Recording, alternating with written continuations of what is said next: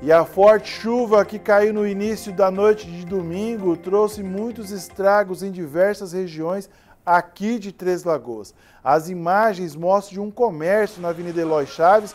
Veja aí, gente. Nossa! Tem o um áudio, né? Do funcionário, né, diretor? Vamos rolar com o áudio aí para o pessoal entender. Essa aí a farmácia fica na Eloy Chaves com a Egídio Tomé. Gente, olha a, olha a quantidade de água.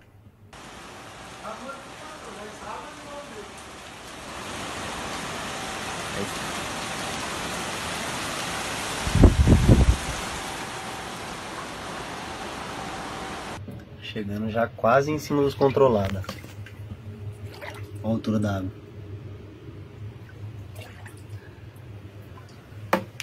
Olha lá, assim você dá pra ver melhor. Aí eu tirei da prateleira de baixo.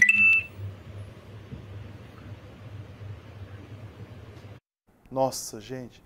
É, por conta que hoje é feriado, nós não conseguimos um contato com a estação meteorológica lá do Centec, que é o Centro de Monitoramento do Tempo e do Clima, nem com o Centro de Meteorologia da Uniderp em Anguera, que faz todo esse o estudo do tempo e do clima, para saber a quantidade de chuva que caiu aqui em Três Lagoas. Então, assim, as informações que não são oficiais relatam aí que choveu mais de 100 milímetros aqui em Três Lagoas e rapidamente imagens como essa aqui, ó, já tomaram as redes sociais ontem no finalzinho da tarde, início da noite, quando choveu muito forte ali na região do IP, inclusive acompanhadas de rajadas de vento e raios.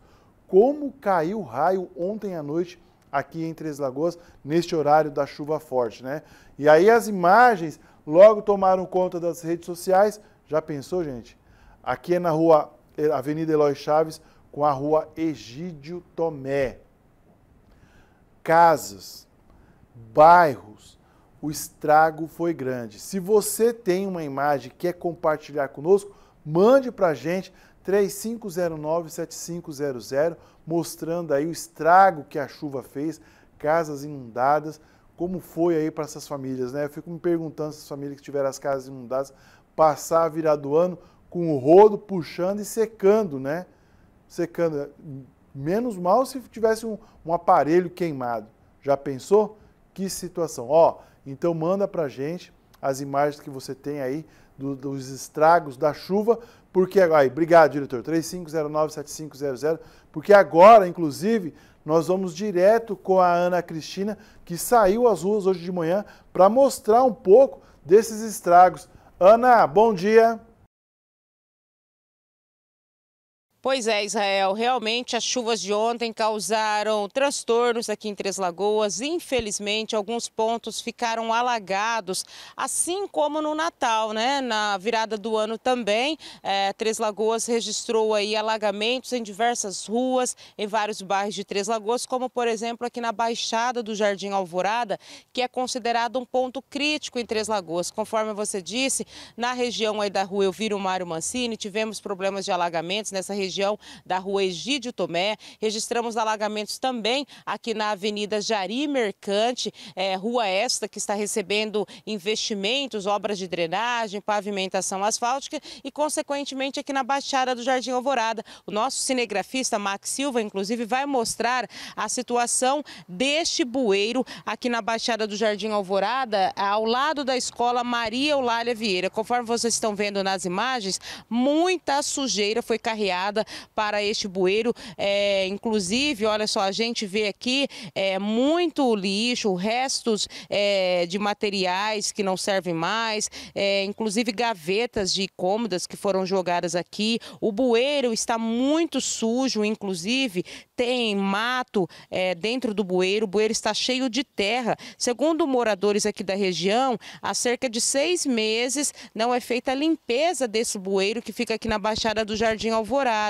Muita garrafa, o lixo é, de algumas ruas, como da Jari Mercante, foi carreado aqui para esta avenida, para essa baixada do Jardim Alvorada. Então a gente vê ainda vestígios da chuva de ontem, olha, muita sujeira nesse bueiro e é claro que se vir mais uma chuva é, por conta da situação que está esse bueiro, da sujeira, certamente que esta rua, essas ruas aqui na região vão alagar novamente, assim como aconteceu no Natal, agora no, na virada do ano também, Três Lagoas voltando a registrar pontos críticos de alagamentos. Na semana passada, inclusive, nós conversamos com o secretário de Infraestrutura, o Osmar Dias, que nos informou aí sobre essa situação. Ele disse que estaria providenciando a limpeza deste bueiro, que estaria enviando uma equipe aqui para o local, isso na semana passada, né, depois do Natal.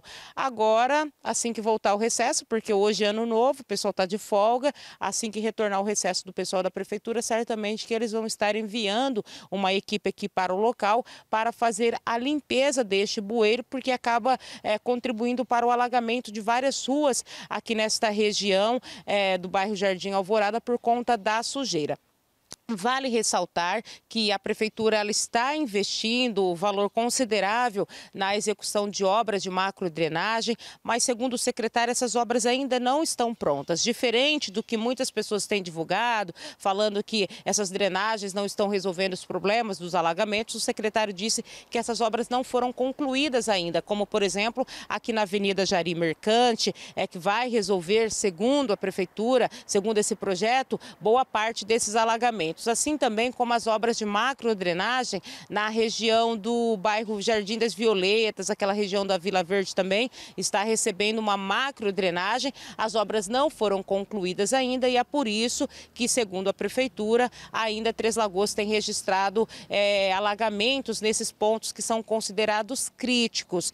É, vale destacar ainda que, segundo o secretário de Infraestrutura, mesmo com essas obras de drenagem, é, quando chover muito, quando for um volume de chuva muito considerável, essas macrodrenagens não devem conseguir suportar todo esse acúmulo de água, né? Vai resolver boa parte, não vai ter tanto alagamento, mas segundo o secretário, quando chover muito assim, fica bastante complicado. Enfim, a gente precisa aguardar a conclusão dessas obras para a gente ver como que Três Lagoas vai se portar a partir dos próximos anos com esses investimentos Investimentos altos, diga-se de passagem, mais de 30, 40, 50 milhões estão sendo investidos em obras de drenagem. Após a conclusão, então, dessas obras, a gente fica aguardando para ver como que Três Lagoas vai se portar daí para frente. Eu volto aos estúdios com vocês, Rael.